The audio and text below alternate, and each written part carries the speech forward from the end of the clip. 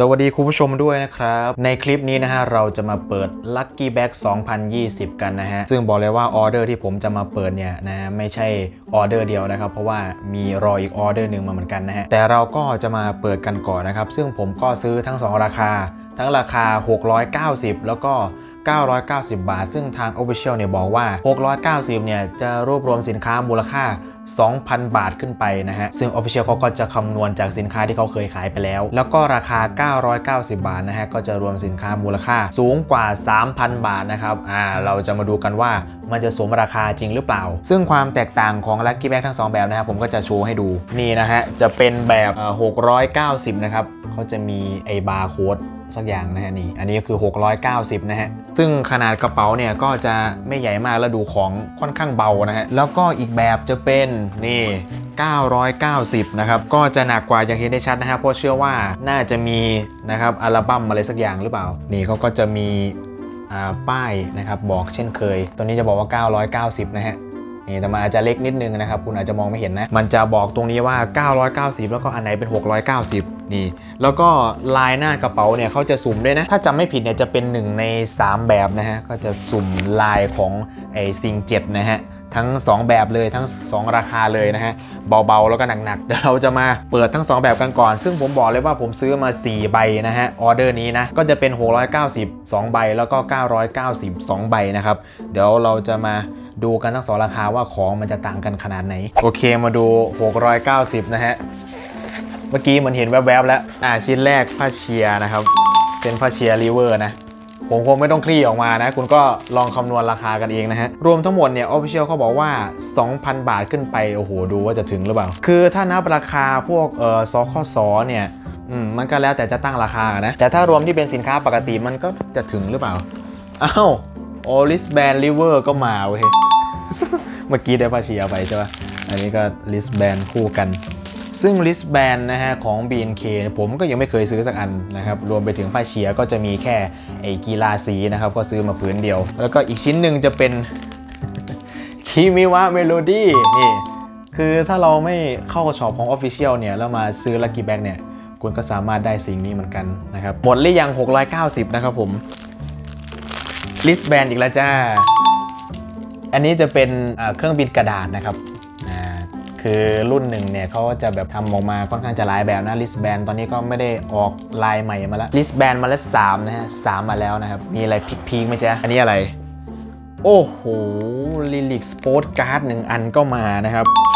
เออเขาโฆษณาไปว่ามันจะถึง 2,000 ผมว่ามันไม่ถึงนะ ตีราคาไปเนี่ย น่าจะประมาณพันกว่าบาทนะเนี่ย รวมทั้งหมดนะครับ อันนี้เป็นของ BNK Festival นะฮะ จะมีโปสการ์ดของ member 16 คนนะครับในนี้ แล้วก็น่าจะหมดหรือยังนะครับ อู้มาคู่กันเลยนะครับ อันนี้เป็น costume keychain costume keychain ของน้องปันนะครับซิงห้าเหมือนกันนะฮะ ก็จะคู่กับโปสการ์ดเลยนะฮะ รวมราคาแล้วผมว่าก็น่าจะยังไม่ถึง 2,000 นะ อะ สุดท้ายนะครับ อะ ถ้ารวมกับตัวที่เป็นสคสเนี่ย ผมว่ามันน่าจะถึงอยู่นี่ แพ็คมาอย่างดีเลยเดี๋ยวขออนุญาตแกะแป๊บหนึ่ง ในนี้นะครับจะมีสิ่งที่เรียกว่า Music Card นะครับผม แล้วก็จะไม่ได้สุ่มลายด้วย เพราะว่าอันนี้เนี่ยน่าจะทำเป็น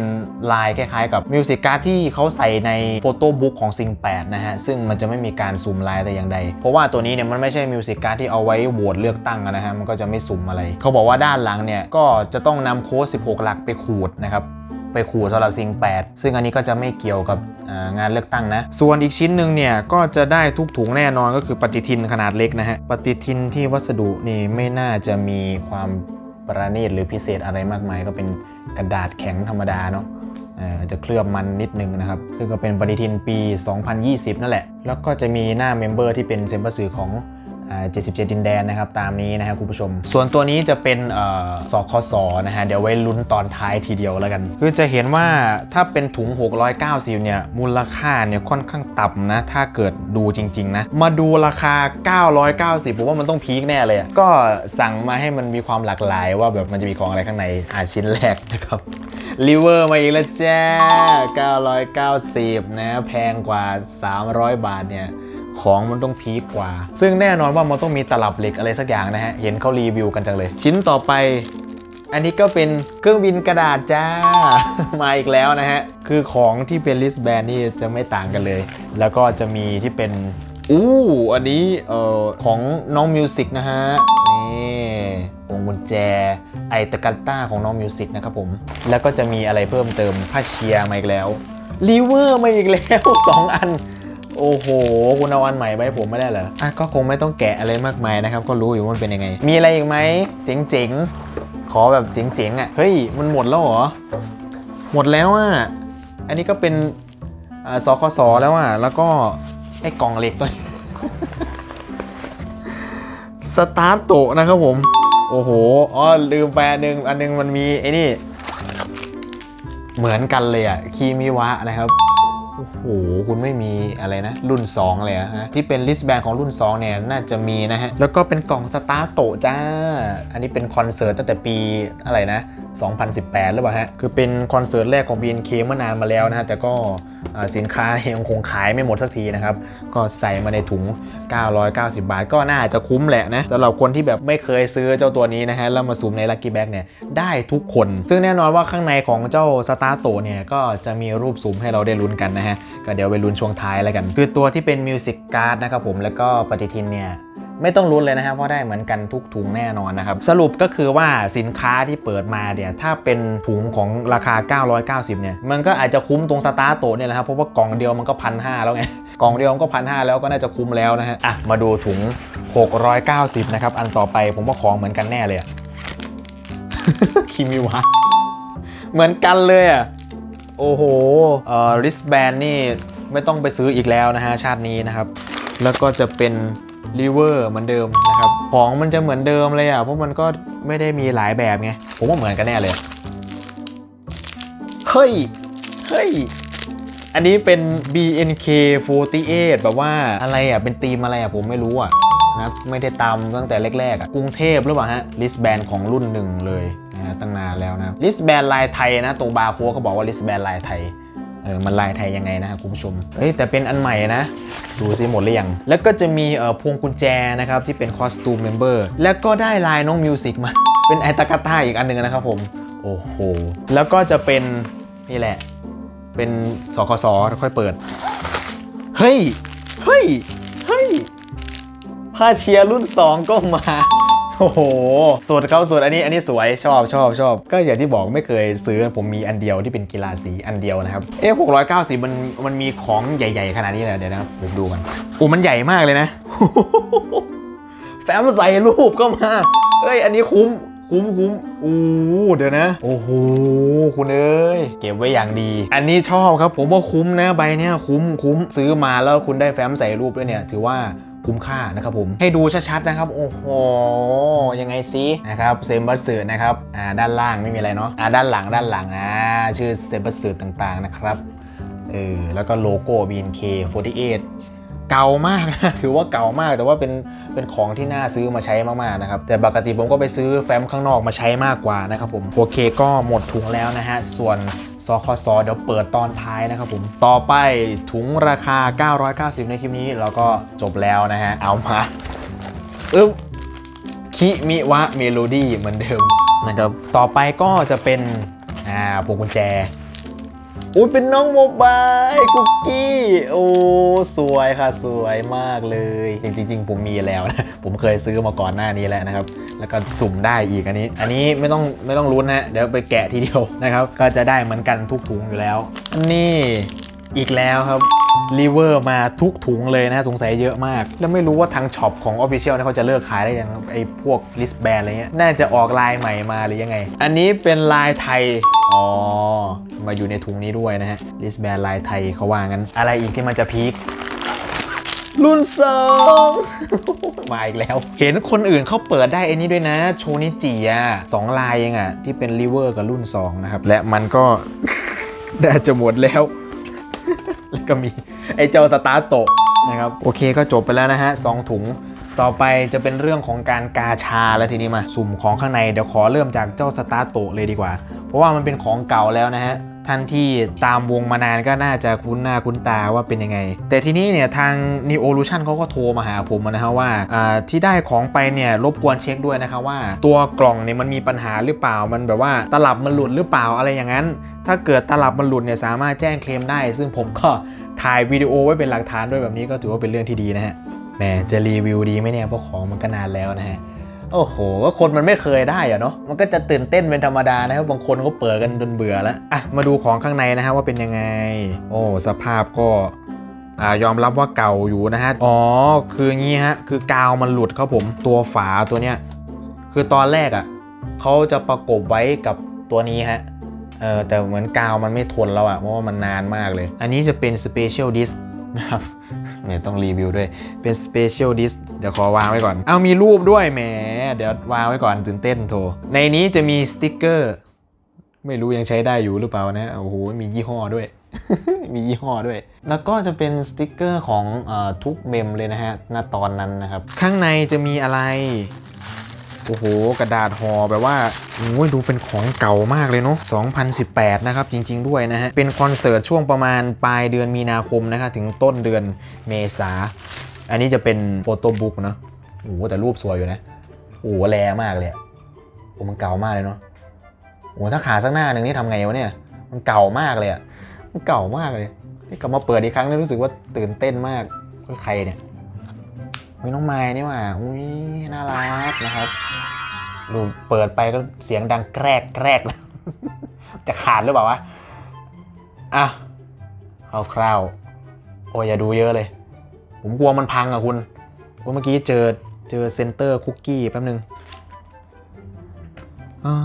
น้องโมบายตอนนั้นก็น่ารักดีนะคุณผู้ชม เนี่ยมันเปิดเป็นดังแกรกดังแกรกอะเหมือนมันจะขาดอะ มันจะเก่าอะไรขนาดนั้น โอเค มันจะมีแผ่นอะไรดำๆกั้นนะครับผม แล้วก็จะมีอ่าตัวที่เป็นดิสก์อีก 2 แผ่น แผ่นหนึ่งกับแผ่น2นะครับ เพราะว่าคอนเสิร์ตน่าจะนานมากเนาะ เดี๋ยวว่างๆก็ค่อยเปิดดูแล้วกัน ผมก็ไม่เคยดูจากแผ่นว่าเป็นยังไง โอเค และรูปสุ่มของเรานะฮะสุ่มจากรุ่นหนึ่งเมื่อนานมาแล้วนะฮะเราจะได้รูปใครอันนี้เดินเดินเดินเดินแต่จริงๆเอามาสะท้อนนะแต่ผมพยายามไม่มองเดินเดินเดินไม่ค่อยชัดอ่าเนย เอาเนยนะครับ เยโชนิจินะครับ แรงมากๆเลยนะเนี่ย เออ ถ้าได้โอชิตัวเองสักใบคงจะดีมากนะครับ ถ้าไปซื้อตอนนี้คงแพงมากเลยนะฮะ รูปพวกนี้ อ่า ก็ได้รูปเนยนะครับ รูปแรก เดี๋ยวเปิดอีกกล่องดีกว่า อ่า เปิดมาก็เจอรูปเลยนะฮะ แต่หน้าแรกเนี่ยก็จะมีสติกเกอร์ให้ อย่างที่บอกไป มาดูก่อนว่าสีของเวทีเป็นยังไงตอนนั้น อ่า เหมือนเดิมมืดๆ เฮ้ยเฮ้ยสัทจังนะครับ โอ้ตอนนั้นอายุกี่ปีก็ไม่รู้นะ น้องสัทจังนะฮะ เป็นชุดเดียวกับเนยเลยนะฮะ ก็ถือว่าดีมากๆเลยนะครับ น่ารักมากนะฮะ ออเดอร์ที่เหลือนี่ถ้าได้รูป推し นี่ผมจะดีใจขนาดไหนเนี่ย โอเคก็จบสำหรับการเปิดสตาร์ตโตนะครับ ก็แบบตื่นเต้นนิดนึงนะครับ เพราะว่าเออเราก็ไม่เคยมีไง ทีนี้เราจะเปิดที่เป็นสคส4อัน นะครับ 4 อันดูซิว่าจะเป็นยังไง อะ ลักษณะของเขาก็คือว่าจะมีกระดาษแข็งแนบมาหน้าหลังนะครับ แล้วผมเห็นสีด้วยเนี่ยมันสีอะไรเนี่ยกระดาษแข็งสองด้าน ผมไม่ทราบนะครับว่าด้านหน้าอยู่ด้านไหนนะฮะ เดี๋ยวขอลองดูก่อนนิดนึงเฮ้ย นี่แหละมันจะมี Happy New Year นะฮะ สีเขียวนี่ของใครผมไม่รู้นะ อ่า ใครครับ เอ้า เนยอีกแล้ว โอ้โห ดวงกับเนยนี่มาจริงนะ สวยนะสวยเขาก็เป็นรูปที่ทำมาใหม่นะ ก็จะไม่ได้ซ้ำกับพวกไอ้ photo set อะไรต่างนะครับ ก็จะเป็น act ใหม่ แต่ธีมก็คือ sing เจ็ดก็เหมือนกับตอน Lucky Bag ปีที่แล้วเนี่ยก็จะเป็นธีมของ festival นะ ซึ่งเราก็จะมาดูด้านหลังกันนะครับ นี่ To You My Love from เนยนะฮะ ก็ขออวยพรให้อ่ามีสุขภาพดีนะครับ มีความสุขมากๆ ประมาณนั้นสุขสันต์วันปีใหม่นะฮะ ก็ถือว่าวาดได้น่ารักดีนะครับ อันนี้เนยนะฮะแรก ต่อไปมาดูอันที่2นะครับเห็นขอบแล้วแหละว่าสีเหลืองๆนะฮะอะอันนี้ด้านไหนนะครับ happy มาแล้วถูกด้าน happy สีเหลือง สีเหลืองออนโอ้โหบอกเลยว่าเด็ดมากเป็นออนนะครับผมแล้วก็ด้านหลังเขาบอกว่าอะไรเอ่ย 2020 นะครับ be the best version of you นะฮะเป็นคุณในแบบที่ ดีที่สุดนะครับปี 2020 นะฮะออนเขาได้บอกไว้นะครับ อันที่ 3 นะครับ จากคนที่3 Happy อันนี้ไม่แน่ใจมันเรียกว่าสีอะไรนะ ส้มหรืออะไรอู้หูวีระยาอุ้ยโอชีแล้วกว่านี้ โอ้สวยเนาะสวยสวยสวยนะครับ น้องวีระยานะครับด้านหลังเขาบอกว่าอ่า12 new chapter นะครับ ก็ 12 เดือนแล้วก็ 366 new chance โอกาสใหม่เนาะ hello 2020 แล้วก็บอกว่าอ่าเขียนคำอวยพรของตัวเองในปีนี้นะฮะ นี่นี่คือสิ่งที่น้องได้บอกไว้นะครับ น้องวีรยา อันสุดท้ายนะครับ เราจะได้ member คนไหนนะฮะ happy สีเขียวมาอีกแล้วนะจ๊ะ เหลือใครอีกเนี่ย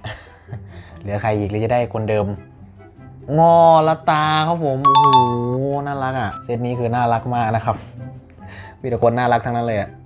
ลัตตานะครับ ด้านหลังเขาบอกว่าอขอให้เป็น